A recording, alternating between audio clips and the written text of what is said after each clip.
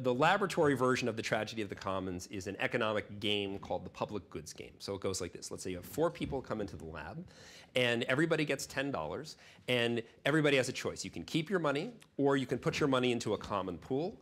You put it into the common pool, the experimenters double it, and divide it equally among everybody. Now, if you're selfish, if you're us-ish, or sorry, if you're me-ish, what you do is you keep your money. Why? Well, you get your 10 bucks plus your share of whatever went into the pool and, and, and got doubled. That's the way you maximize your personal take. If you're us-ish, if you want the group to do as well as possible, you put all of your money in. That's with double, that, you get the biggest gains, every, it, gets, it's, it gets doubled and everybody com, comes out ahead.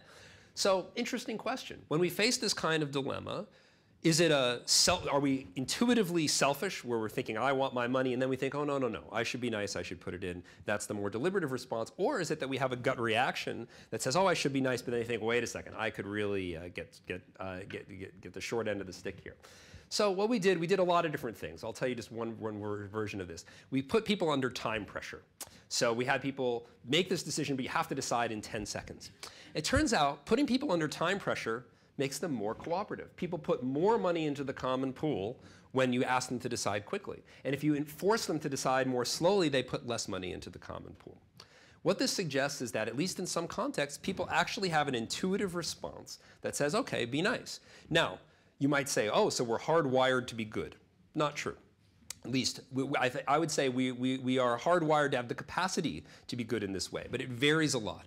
People who report not trusting the people they interact with in their daily life, they don't show this fast, slow kind of effect. And as I'll explain in a moment, you see different patterns in different places around the world. So it's highly dependent on experience on, and on culture. But at least for some people, some of the time, you have a gut reaction that makes you more cooperative. But that's not the modern problem. The modern problem is us versus them. It's about cooperative groups with different values and different interests getting along with each other on those fertile new pastures. And this is where our intuitions do not necessarily serve us well. So let me tell you about a, fascinating set of experiments done by Benedikt Herrmann and colleagues. Um, so took this public goods game that I described, the tragedy of the commons, and they had people in different cities around the world play this game. Now they did it a little differently. In the experiment that I described, they just did, played it once. In their version, they did it over and over again, the same people, and they also had the opportunity you could punish people for the, for the way they played in the last round. So if somebody is uncooperative, you can say, all right, I pay a dollar, and then as a result, you lose $3. Um, so this is a way of in, in, in, enforcing cooperation. Now, the beauty of this experiment is that everybody in these cities around the world is in exactly the same situation. They test them very carefully to make sure everybody understands the rules, everybody understands exactly what's going to happen. And you get enormous differences in how people play and the amount of money that they walk away with. And that is all due to culture and individual experience. There are some places, like my hometown of Boston and in Copenhagen and St. Gallen, where cooperation starts out high, people put their money right in, and it, and it stays high. There are other places like Seoul, North, uh, in, in, South Korea, uh, where cooperation starts out kind of in the middle, and then people put in more, more money as people start to enforce it. You say, hey, you should, you should be doing this, and people do it, and cooperation ramps up, and by the end, it looks just like Copenhagen, uh, the capital of cooperation.